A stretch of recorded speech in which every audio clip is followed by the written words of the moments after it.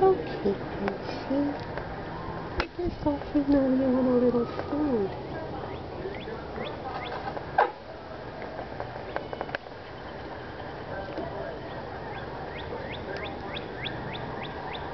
Oh, this.